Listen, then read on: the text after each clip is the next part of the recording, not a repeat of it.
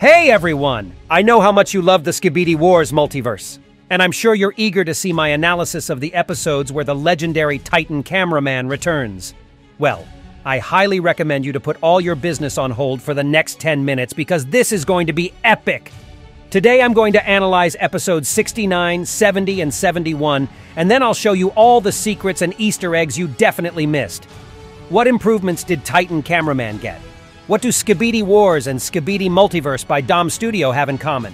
And is it true that Tri-Titan destroyed Toilet Inventor for good? Make some tea and grab your snacks and be sure to watch this video till the end, you'll definitely love it. Let's go. I finished my last analysis on a battle between Speaker Titan and Toilet Phantom, where we were made clear about the return of Titan Cameraman. Also in the comments, there was plenty of controversy about the appearance of Toilet Phantom. And I agree with you guys. We saw something similar in the game Five Nights at Freddy's. Well, it's high time for episode 69. It begins with Phantom TV Titan lifting several objects to the air, including two cars, an anti-parasite cannon, and a container. This is an ability we haven't seen before, and it seems that after Phantom took over TV Titan's mind, he was able to learn new skills such as the double red and white glow, the ability to move underground, and also to control objects with the power of his mind. I think it's all about the red sphere. During the glow, we hear the THX sound. And mind that in the original series, we heard it when Titan TV Man used the red light, which made all the Skibidi toilets flush themselves. But it seems this orb has a secret power and has a few more abilities that TV Titan didn't know about.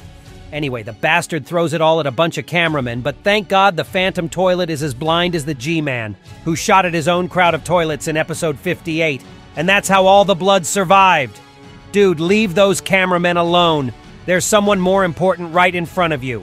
Why don't you channel it all into Titan Speaker Man? This guy is landing epically, and he seems ready for round two with that prick. He also has no protection on his legs, like in the last episode, so why don't the Titans stop by the lab on his way there so the scientists can quickly fix that? Probably the reason for it is Phantom being able to teleport and to move to this place in the nick of just one second. But Titan has no such ability, so he had to travel hundreds of kilometers on a jetpack to get here from the winter location. Titan also has no special protection on his head that was present in the original series. Titan takes a few shots from the cannons on his hands, but Phantom doesn't really care, and teleports directly to Speaker Titan. He then delivers a claw strike right to his head. Here you can see TV Titan has a neck that looks like a human one, but in the original series, Titan had a special device which means that in this multiverse, TV Titan is half human. Looks like that punch hurt Titan badly, and Phantom is getting ready to fire the final shot from the sphere. Damn it, guys! I'm starting to feel sorry for this dude. I mean, just think about it. Throughout all the episodes of this multiverse, he has never once managed to win. He loses it all the time. Please show your support to him in the comments. But we're here for an epic battle, my friends and Titan cameraman comes to the poor thing's rescue. He grabs the prick's head and smashes it against the building. He does this a few more times and then epically throws the breathless body away as if it was rubbish. It seems the claws on the back of the Phantom TV Titan wasn't ready for this and just disappeared, which looked really funny. The improved Titan looks almost the same as the original version, but his core is located a little lower. There's also an inscription under the camera, although what it says exactly is really hard to understand. Titan Speaker Man looks at his bro and shows a token of appreciation to him. And then TV Woman appears and waves to the Titans. It seems that we are watching this episode on behalf of Elite Cameraman, because as soon as POV sees TV Woman, he runs to her. Titan Cameraman raises TV Titan's head, and we see the Toilet Phantom loosing his mind. And what happens next is really hard for me to explain. Phantom teleports directly to TV Woman and then just disappears. Why did Phantom retreat and not destroy TV Woman? You would think that she hypnotized Phantom and made him retreat. But from my past analysis, I know that her radiation is much weaker, and I don't believe she could do that. Could there be a special connection between them? After all, Phantom Toilet had several opportunities to destroy TV Woman, but he didn't do it, and that's very strange. I also have a theory as to why Phantom did not take over the mind of the improved Titan cameraman, but I will tell you about it a bit later. Then the freed TV Titan comes to his senses, and the next 70th episode begins. We see two cameramen doing something to POV. Next to him is an elite military Skibidi toilet. That was in the 44th episode of the original series. The cameraman gives a thumbs up afterwards and turns around to see who POV is this time. This episode's events will take place on behalf of a special drone, and now we have a unique opportunity to fly in this amazing city like Spider-Man. We can immediately notice Skibidi Saw from the original series. This is the same dude who sawed off Titan TV Man speakers in episode 47, and as I said on my main channel, it was this jerk who controlled fake G-Man's body in episode 65. We fly on, and all we see, considering that our drone has actual eyes, is a spider toilet that we saw it in the 49th episode of this multiverse. On the roof, you can see a big speaker man. This guy is there all alone, and I don't know what exactly he's doing there. And after that, the real epic begins. Titan Speakerman finally destroyed someone. Dude, just tell me where you are and I'll send a birthday cake with your name written on it. At the same time, we see the vacuum toilet that TV Titan is fighting with. He uses his glow, and it seems like this sphere has another ability to make Skibidi toilets fart, because I don't know what other kind of yellow smoke can actually come out of the vacuum toilet's ass. POV flies over an underground parking lot, and we see another old friend who's back.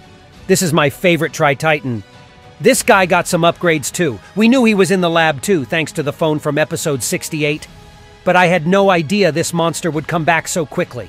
He has two more speakers on his legs, and they look more advanced than the old versions. He has the same speakers all over his body, and the TV has special protection now. Also, the TV itself looks different with a purple image on its screen that resembles a core. It's as if this TV is showing what's behind it. And that's where the Tri-Titan core is. Big Daddy now has three main cameras and it resembles the main Alliance Lab logo from the original series that we saw it in episode 23 in the place where we were teleported by the TV woman in episode 49. He also has a fin on his head with a red cannon similar to Titan Cameraman's and Tri-Titan's appearance.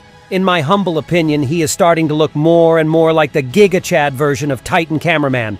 I'm afraid to imagine what this blood is capable of. Episode 71 is on your screens. Titan cameraman lands epically and is looking for someone to use his hammer on.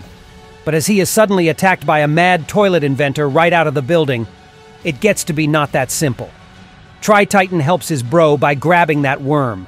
Strangely enough, there isn't even a hole left in the building the leech crawled out of.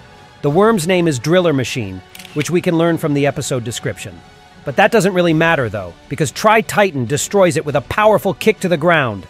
POV turns around and we see several Skibidi toilets, among which there is a Skibidi bathtub. The exact same one appeared in episode 55 of the original series, and the very first appearance of a Skibidi bathtub was in episode 41, where it was destroyed by Titan TV Man with a red radiation. There are also three elite military Skibidi toilets and three Lil SWAT toilets. Each of them have a blue logo. The same logos were in the Skibidi multiverse from creator Dom Studio in episode 9 and 8. In the original series, SWAT toilets had this logo too. They start firing at the Tri-Titan and it causes a huge explosion. But unfortunately for the toilets, the Titan doesn't care about their attacks. And this is a reference to episode 58, where the Skibidi army also fired several powerful shots at the Titan, but he didn't care as well. I don't quite understand why Titan Cameraman didn't help his friend at that moment, because he was right next to him, and with one blow of his hammer he could destroy all of the Skibidi. In any case, Tri-Titan is using his drone, and it looks like the drone from the last episode, but with two camera guns, one shot of which destroys all Skibidi toilets. Is it just me, or are there slackers in the Skibidi army?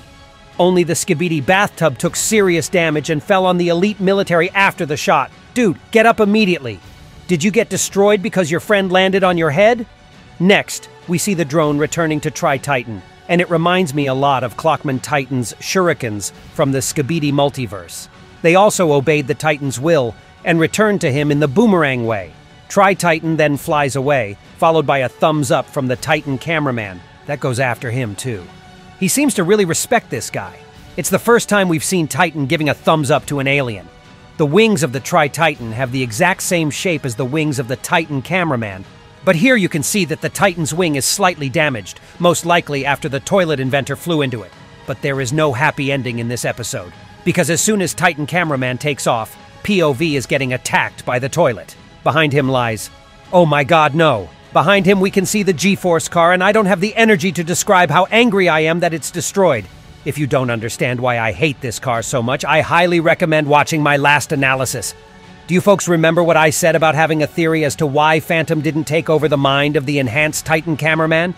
It's because we saw TV Titan's neck. It was humanoid one. I think Phantom was only able to take over his mind because he's half human, but Titan cameraman is fully robotic, so he can't do the same thing to him. In the original series, Speaker Titan also had a human neck, but I think Phantom has little interest in this poor guy. I suspect he is too weak and not that sweet of a fruit to him. Write your theories in the comments why Phantom decided to leave without a fight and who you think is capable of defeating Tri Titan. And that was me, Iso Toilet. See ya!